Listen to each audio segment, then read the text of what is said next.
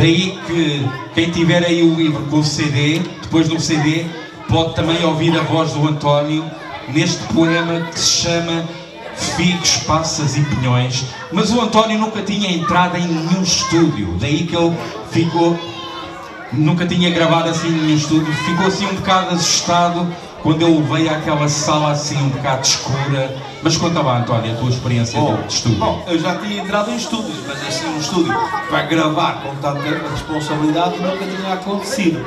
Então, foi, foi muito foi muito engraçado porque ficámos assim dentro. O que é que está a acontecer?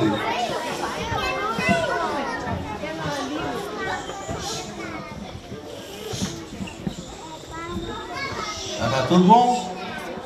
Ok. Então eu estava. O, estúdio é assim um, um quarto muito pequenino.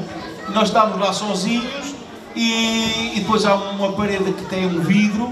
Do lado de fora estava, estava o Daniel e disse 3, 2, 1, começa. E eu comecei a declamar, eu pensei que tinha dito muito bem. E ele depois disse, ah, não te importas de repetir. Eu repeti, e tornei a repetir, e tornei a repetir.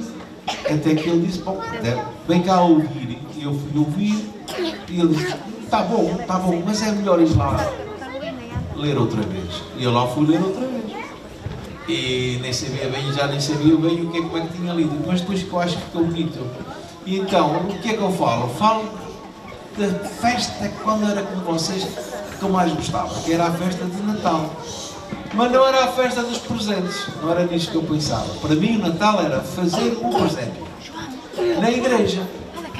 E eu ia buscar musgo, ervas, era, fazia depois caminhos com areia, depois íamos à sacristia e havia lá assim um, gavetão muito grande, fazia barulho.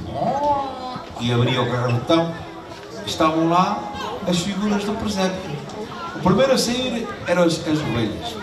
Lá punha as abelhas todas a pastar. Depois era o pastor, depois era assim essas coisas todas.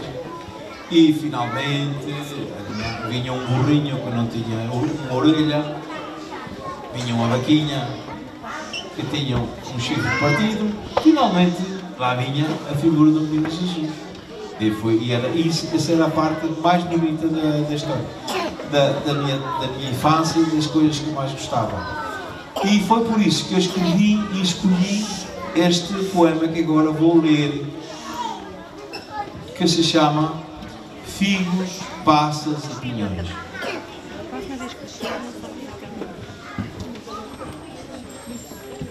É noite de Natal.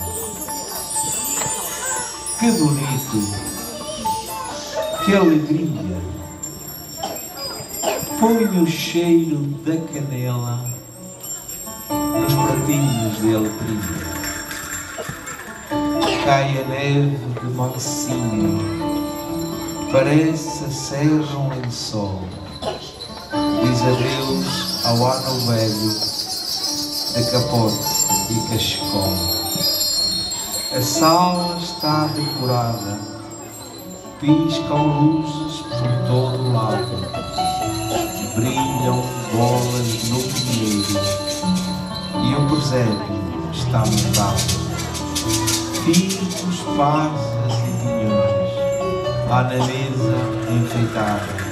Rapa, pica, põe e deixa. Prova lá a rabanada. Que presente estará dentro daquela caixa embrulhada com papel tão brilhante, laços de fita.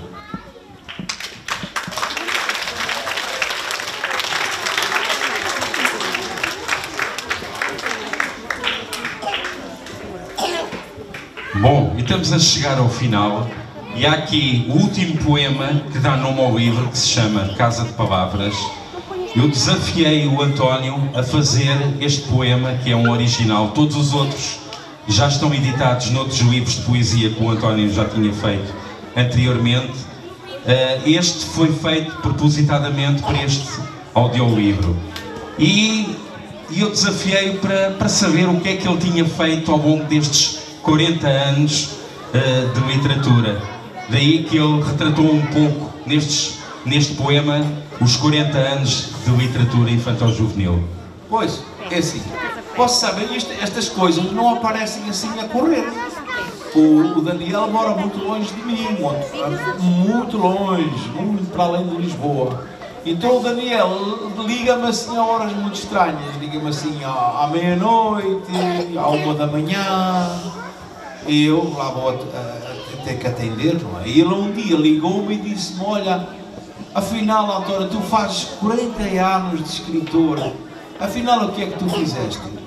Conta lá, põe isso num texto. E eu nem sabia bem o que é que havia de fazer, mas depois saiu assim esta coisa. As casas onde moramos têm portas e janelas, salas, quartos, corredores, escadas, elevadores. Há casas muito pequenas, também há arranha-céu. Há casas lindas e feias nas cidades e nas aldeias. Não tem portas nem janelas. A minha casa é diferente. É feita só de palavras. Nela cabe toda a gente. Nem tem aço, nem betão. A casa que construí. Tem lá dentro os meus sonhos. Histórias que descobri. A minha casa está aberta seja noite, seja dia. Abraça quem aparece, procurando energia. Não tem portas, nem janelas.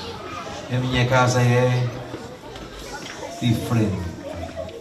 É feita só de palavras e nela cabe toda a gente. E vocês também cabem aqui dentro da minha casa. Vá, obrigado.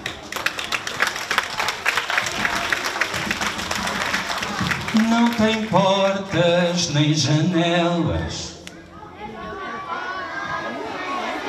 A minha casa é diferente. É feita só de palavras. Nela cabe toda a gente.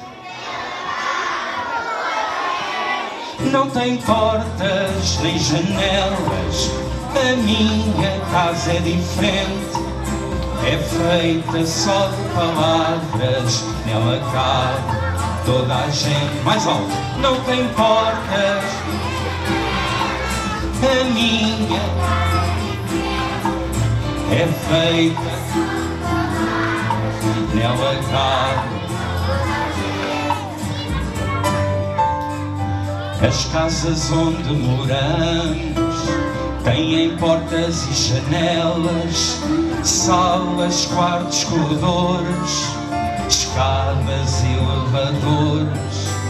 Há casas muito pequenas, também há arranha-céus. Há casas lindas e feias nas cidades e nas aldeias. Vá lá! Não tem portas nem janelas. A minha é feita nela cá. Outra vez, não tem portas. A minha é feita nela cá toda a gente.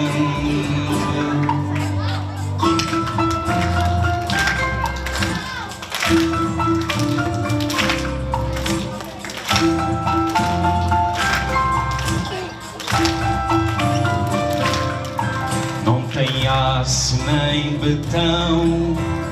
A casa que construí tem lá dentro os meus sonhos, histórias que descobri. A minha casa está aberta, seja noite, seja dia. Abraça quem aparece, procurando a magia. Ah, não tem portas nem janelas. A mim é feita nela cabe. Não tem portas. A minha casa é feita só de palavras, nela cabe. Vamos lá para acabar. Não tem portas nem janelas. A mim é feita. Nela cabe toda a gente. Não tem portas nem janelas. A minha casa é diferente. É feita só de palavras. Nela cabe toda a gente.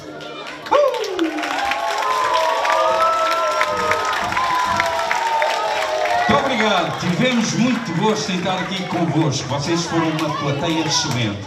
Olha, só mais uma coisinha. Nós sabemos que o livro esgotou entretanto, mas nós temos aqui o CD. Se alguém quiser ainda, depois podemos enviar os livros e podem levar só o CD. O livro esgotou na sessão anterior, tá bom?